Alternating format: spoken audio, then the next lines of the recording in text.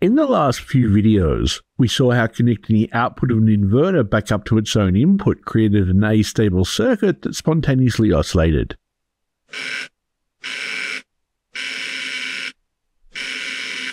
If we use two inverters, the circuit's stable in two configurations 0110 and 1001.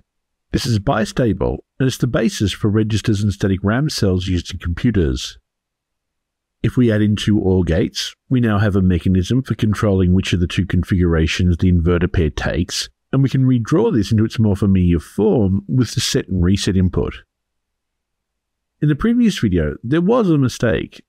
In this graphic, I said that when set and reset are both low, the output Q remains unchanged. When I assert reset, the output goes low, and when I assert set, the output goes high. But in the graphic, on the third line, I had both set and reset asserted. This was a mistake, and it should read 1 0. Sometimes we just do dumb things.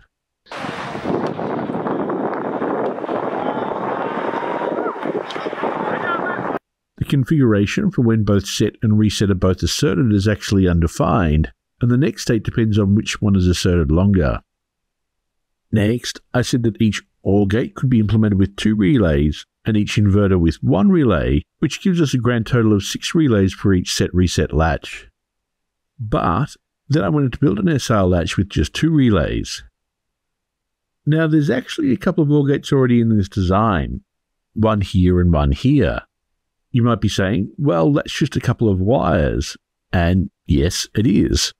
It's called a wired OR gate, and it only works in certain circumstances.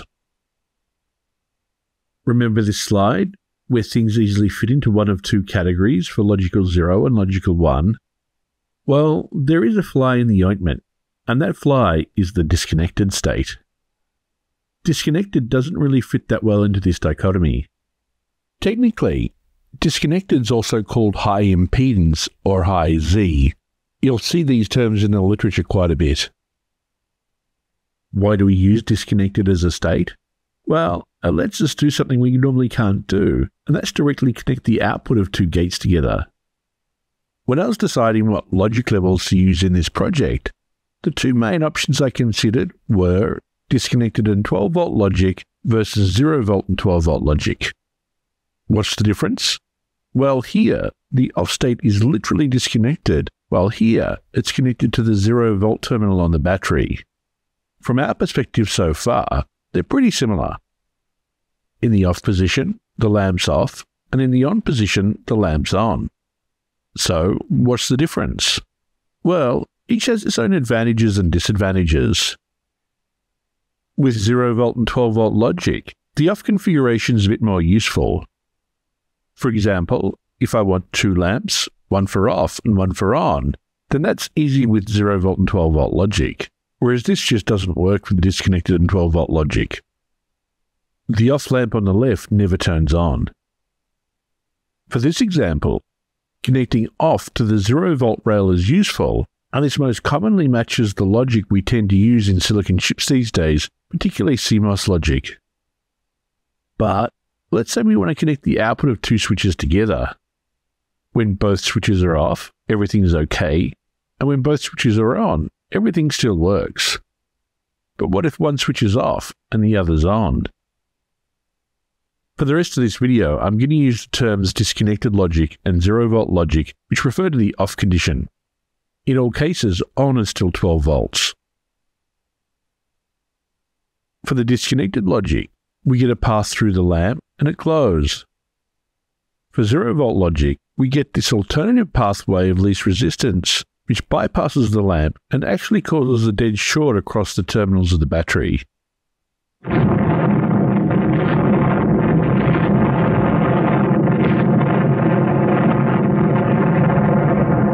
Now, it's not quite as bad as that. But some lithium batteries really don't like dead shorts.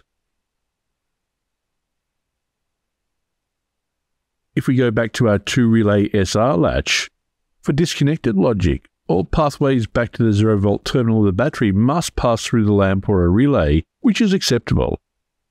But if we use 0 volt logic, we get a dead short straight away. So the reason I can use two relays in our SR gate is because of the disconnected state. Let's call these switch outputs A and B. We can look at the truth tables for when A and B are wired together.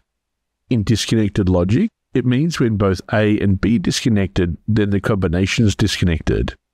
If A or B or both are at 12 volts, then the combination will be 12 volts. If we use 0 volt logic instead, if A and B are 0, then the combination will be 0. If they're both 1, the combination will be 1. But if A and B are different, then we get a dead short, which is bad.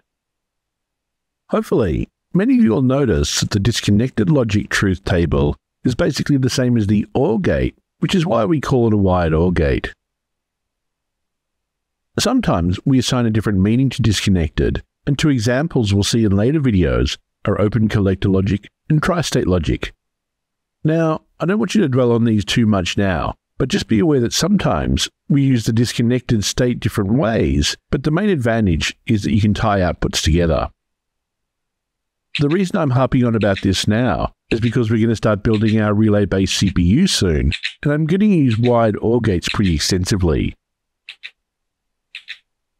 This is a register board for the CPU, which I'll explain later, but it uses the idea of wired OR gates, particularly to transfer information.